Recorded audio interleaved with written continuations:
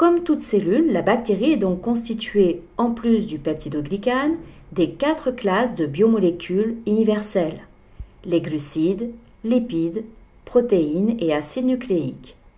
Si on récapitule, on constate que toutes ces molécules organiques sont composées de carbone, d'hydrogène et d'oxygène, éléments majoritaires en pourcentage. L'élément d'azote est présent en forte concentration dans le peptidoglycane, les protéines, les acides nucléiques et dans une moindre mesure dans les phospholipides.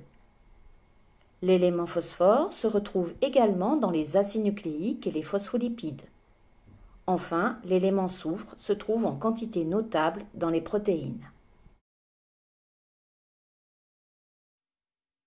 La cellule bactérienne doit donc trouver dans son environnement des substances élémentaires, encore appelées substances constitutives, qui lui apporteront ces macroéléments C, H, O, N, P et S en concentration suffisante pour synthétiser ces biomolécules. Au cours de nombreuses réactions de synthèse, les réactions anaboliques, ces éléments seront assimilés par la bactérie, c'est-à-dire qu'ils se retrouveront dans sa matière organique. Par ailleurs, notons que la bactérie a également besoin, mais en quantité plus faible, de divers éléments, dont le sodium, Na, le chlore, Cl, le potassium, K, et le magnésium, Mg. Enfin, certains éléments sont nécessaires, mais en bien moindre quantité.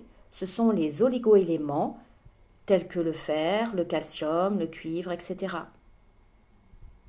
N'oublions pas que toutes les réactions métaboliques cellulaires, que ce soit des réactions de dégradation ou de synthèse, sont catalysées par des enzymes qui sont de nature protéique. Ces macroéléments permettront donc également à la cellule de synthétiser toutes les enzymes à partir de ces gènes.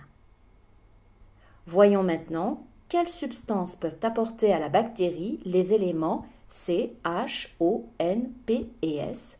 Et nous terminerons cette partie en parlant des éléments Na et Cl.